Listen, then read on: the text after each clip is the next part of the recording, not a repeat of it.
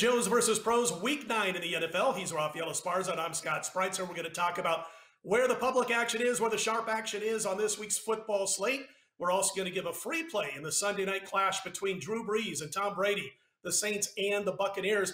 Real quick note before we do that, check this out, guys. You can get 25% off any Docs Cappers $30 daily package and or 25% off any Cappers $99 weekly package and this is good Friday, Saturday, Sunday, or Monday. It expires on Monday. You'll need the passcode, and that passcode is FB25. That is FB25. So be sure to check that out uh, this weekend over at DocSports.com. All right, Raphael, let's not bury the lead. Let's get right to it. Saints, Bucks clash in Tampa on Sunday night. Marquee game of the week to be sure. Uh, Brady and the Bucks looking at my screen right now, but a four and a half point home favorite. There are some fours out there. Uh, the total has been the big news today. It's dropped all the way from 55 and a half down to 50. And as of right now, weather is expected to be an issue in Tampa. Also, Drew Brees being questionable certainly has drawn some of the interest from those who want to plunk down their money on this game. He does have a shoulder issue. He has missed a couple of practices this week, but he is expected to start. Your thoughts? Yeah, I'm not sold on a whole injury, shoulder injury. I think they're just trying to hype this game up because let's face it, what are you going to hype up? The two four uh, four o'clock Eastern games when one of them's Pittsburgh and Dallas with a 14 point spread? Are you going to hype up a Monday night game that has the NYJETS Jets Jets Jets on a Monday night game? I think that's just all hype for Tampa Bay's uh, and New Saints. Uh, Brees is gonna play, but let's face it, it's the best game on the board, probably the best game all weekend long. Uh, if you even want to throw in college football, because there's no Trevor Lawrence at Notre Dame, so that kind of marquee messes up with that one. So if you're looking for just marquee, and I stress that capitalized marquee matchup, it's got to be this game right here between Tampa Bay and the Saints. Can Tampa Bay get some revenge? Because week one, Tampa Bay had to go to the empty, empty uh, Superdome in New Orleans and they lost that game. So can they get revenge on this one? If there's going to be weather involved, I would think that would help Tampa Bay because we all know Drew Brees' record uh, outside and in weather conditions is not that it's not very good. Uh, I like Tampa Bay in this one. I think the public is going to like Tampa Bay, especially it's going to be a chase game. If the public loses, which this week the public should be winning because if, if you look at what Vegas and the books have done, they won week, they won a week, they lose a week, they won a week, Last week, the books had a monster week, so maybe that means uh, the the betters win this week. So I can't wait. I can't wait to see what the Lions do uh, all weekend and all Sunday. So uh, I'm leaning uh, towards Tampa Bay, but you said weather could be an issue. It's kind of cool though when you think about the fact that you could actually see Jameis Winston at quarterback for a certain portion of this game. If Drew Brees is a little bit banged up, uh, Tampa Bay probably wishes to see that. I'm sure Winston wouldn't mind a little bit of potential revenge if he can get in there. That means three touchdown passes and three picks, though, uh, for the New Orleans side if he does play. And of course, Taysom Hill could take some snaps. Uh, but the big, you know, besides the fact that Drew Brees is expected to play, and it sounds like you are in agreement with me. We both expect he's going to play. Uh, the big deal is Alvin Kamara. He did return to practice on Thursday. Uh, Michael Thomas is now probable for this game. Uh, but if Kamara is out there and he's healthy, which he's going to be, you're talking about a guy who's having a historic season for running backs. I mean, he's gonna he's on pace to almost hit that thousand yard rushing mark to have nearly 1,300 receiving yards by the end of the season, and he leads the league in yards from scrimmage right now. He's got more receptions uh, from the running back position through this portion of the season, through eight games, uh, than anybody in history. I mean, it's just been an incredible season for Kamara.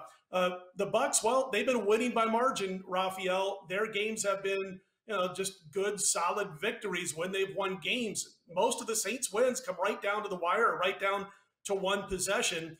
But here's the thing, man, if you're going against New Orleans and Drew Brees is on the field, let's just remember that they've won 16 of 19 straight up uh, away from home, covering what 15, uh, 16 of those games also, something crazy like that. It's a uh, and, and, let me clarify that. I, I kind of mixed that up. They've won 16 of 19 straight up on the road. They've covered six of the last seven against the spread as a road dog. So if he's healthy, I suspect he will be. It's a situation where you're going to go against that. The number dropping the way it is, the public kind of leaning towards New Orleans right now is kind of iffy for me. Uh, here's the thing about the total, and I'm going to be on this total if this scenario happens, Raphael.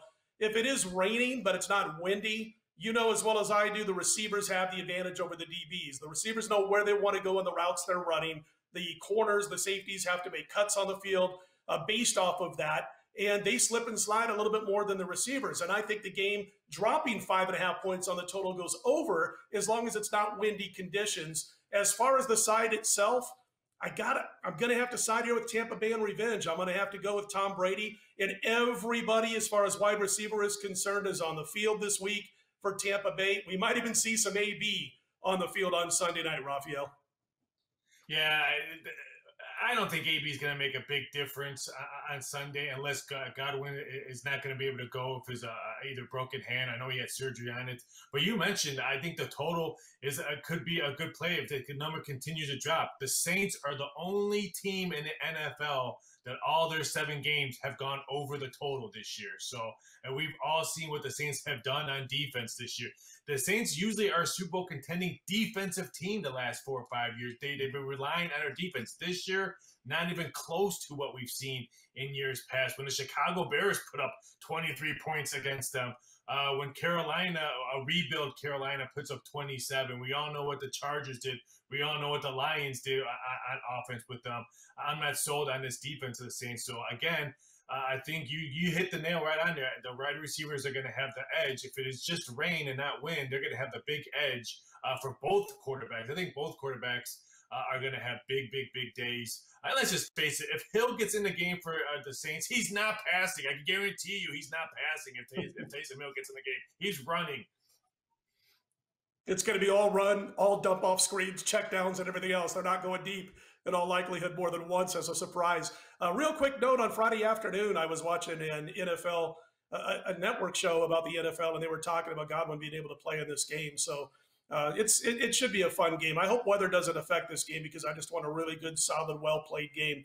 Uh, let's switch over to Joe's versus pros for this week, Raphael. And remember, as you mentioned, remember, folks, uh, that the public has not been that automatic go against this season. They've had their times this year where they've shined brightly and made some betters, some professional betters, uh, not too happy, none too happy, taken away from their bankroll a little bit. Let's start with the Bears at Tennessee, where Tennessee's a six and a half point favorite. Uh, total up an inch or so to 47. Chicago, Raphael is getting 54% of the action or the tickets. Tennessee being pounded by sharp money, 75% of the money against the spread right now on the Titans. Yeah, those tickets written on the Bears, do they watch football? I mean, am I the only one that screams on the TV says, "Why is Foles still there?" Suck up your pride and put your pins back in there. Heck, if I'm Jim McMahon, put your jersey back on and your headband on because this offense is pathetic in Chicago. I, I understand why the uh, the Sharps are all over Tennessee. The Sharps are going to continue to be all over Tennessee until I think this number lands at maybe a seven mark. Uh, but uh, I can guarantee you the books are going to be Super Bowl watching this game. Hopefully, the Bears can pull out a cover or straight up victory. Because let's face it, Tennessee is going to be a heavy, heavy bet money line parlay, teaser action game. So uh, I can guarantee you all the sportsbook directors will be doing a Super Bowl shuffle as big Bear fans on Sunday. You know, and one of the things I keep hearing from Bears backers is the fact that Tennessee, their defense has given up 27 or more in five of the last six games, but this could very well be just what the doctor ordered for the Titan defense going up against that Bears offense. Ravens laying a point and a half, total 48 at Indianapolis. And I am going to, I'm looking at books right now as we speak on my screen. I got about 15 books, Raphael. And that number, which was a point and a half just a little while ago on Friday afternoon, is as low as Pick'em now in several books. Joe's about 60% of the tickets on the Ravens. Obviously, that means a lot of sharp money coming into the Colts with this game moving down to a pick. Remember, the Ravens opened in a couple of books as high as three and a half uh, this past Sunday night. So, listen, Raphael, the Ravens, again, no bigger than a one point favorite as we speak, pick in some books. So, I, I got to ask you this question as I'm as I'm looking at these numbers sportsbook director for many, many years on the Vegas Strip and elsewhere. Just tell the people what it takes when there's no major injury to a quarterback like Lamar Jackson, what it takes to move a game in the NFL from a three point favorite to pick them. Money that me and you don't have in our wallets or in our bank accounts that makes them uh, pick like that. I've seen uh, as I was looking through the betting screen on Tuesday when I was moving numbers for something that we're all tired of talking about uh, as on election day. I seen some big action coming in on the Colts, a lot of wise guy action coming in on the Colts. And let's face it, their defense is probably the quietest non-talk defense in the NFL in years to come. I mean, this Colts defense is no joke. Uh, they've won back-to-back games where they've won, I think, five out of the last six. Uh, I totally understand why the wise guys are betting the Colts, and I can continue to see Colts action coming in probably as we speak. And let's face it, Baltimore's taking a step backwards. They're not the same Baltimore team they were last year. Uh, I think everyone realizes maybe Pittsburgh Steelers are the best team in that division, not the Baltimore Ravens. So I have a feeling that's why some of the probably uh, wise guys and other people jumping with those wise guy action coming in. Colts are going to be a big play, I think, all weekend long. I was looking at that game last week. I was on the wrong side. I had the Ravens over the Steelers. And there was good news and bad news for me. Obviously, I don't want to lose a bet. At the same time, did a video at Docs before the season, and I laid a pretty big price for me when it comes to things like this. I laid a buck forty that the Steelers would make the postseason this year. Uh, so there was that to fall back on, even though I was disappointed in the loss by the Ravens. I was watching that game. They outgained Pittsburgh by about 200 yards, and they had two empty trips in the red zone. That was the difference in the game. Uh, but that makes you do think about Baltimore and that offense and Lamar Jackson, who had a phenomenal superstar historic year last year, not quite the same. And what's odd about this is in the offseason, I don't know if you remember this, Raphael, but John Harbaugh was pretty outspoken uh, talking to the media that we've got to get Lamar to take that next step, which means being able to complete passes downfield more. No more check downs as much, no more intermediate dump offs as much. He's got to be able to stretch the field and do so on a regular basis. And then he almost completely forgets about his one receiver who can break uh, a little bit of space between himself and defenders and go deep. I, I don't see that next step being made by Lamar Jackson yet. I don't want to knock the guy too much. I mean, listen, the guy was phenomenal last year. He's still good this year. But when they step up against elite teams, I'm not so sure that they're going to get the job done and get any further in the postseason than they did last year. I agree with you, and and I I'm with you. I had the Ravens last week as well, so I had the big L as well yeah. on my forehead stamped on that one. But this is a big game. I mean, let's say the Colts do the same thing what Pittsburgh does. Maybe uh, control the second half, uh, put some points up, and spread it around, and, and keep that uh, uh Ravens defense on the field, and then gas in the fourth quarter. If that's the case, I think we're going to hear some Lamar Jackson rumblings. I thought for sure they were going to move for another wide receiver during the trade deadline, but let's face it, the NFL trade deadline is horrible. It's like going to a baseball card show to try to trade your baseball cards. Nothing's going to happen. So uh, I can t- totally see why they didn't get any help. But yeah, I really thought, I think maybe if they can get another key piece during the offseason for next year, then maybe he does take that step. But right now, I just don't see it. I'm glad you said baseball cards. I was a little worried you were going with the Star Trek convention analogy, and I didn't want to go there. Uh, Panthers at the Chiefs is the final game we're going to talk about between the Joes and the Pros. Uh, Chiefs laying 10 and a half, total 52 and a half. KC's been as high as 12 and a half this week. They are, to no surprise, the public team here. They're getting 54% of the tickets, right under 55%. 65% of the money on Carolina plus the points. And the news on Christian McCaffrey is that he is now probable if he is able to play and play close to 100%, then all of a sudden it's a little bit tougher to force Teddy Bridgewater to become Teddy checkdown, which is what he was last week against the Atlanta Falcons. Yeah, this one's interesting. I can't wait to watch this on a handicapper point of view and an odds maker point of view. For an odds maker point of view, we're going to be big Carolina fans. We're going to be big Jet fans because, again, teasers and parlays are all going to be on Kansas City, New England uh, carried back all the way with Green Bay last night. So it's going to be very interesting. But you said it, McCaffrey plays. That's a totally different offensive game, and we're going to see the playbook a little bit more wide open than, like you said, dump downs and screen passes. If he plays, it's a totally different game, and would not shock me if the Chiefs only win by, let's say, a touchdown. Uh, it's, it's, this game has circled for me, not for gambling wise and make a lot of money, but I want to see what Carolina looks like offense healthy because I thought this team was going to be really bad. And this team was mm-hmm. they, they fight. They remind me of the Miami Dolphins of last year. Everyone thought they were going to stink, but they just compete. They show a lot of heart. Uh, this Carolina team has a lot of heart. They can keep this game close. Kansas City 17 and 1 straight up run, 16 and 2 against the spread of the last 18.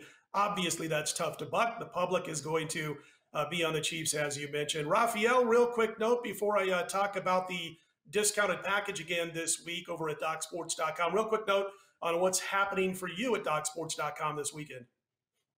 Not only do we have football on Saturday and Sunday, but you know what's going on right now while I'm watching and going on all day on Saturday? The ponies are going around in circles because you know why? It's Breeders' Cup weekend. So Breeders' Cup weekend is uh, one of my favorite, favorite times uh, of horse racing. It's a Super Bowl of horse racing. I had five races today. I got about anywhere between six and seven tomorrow. We're waiting to see if any scratches come out.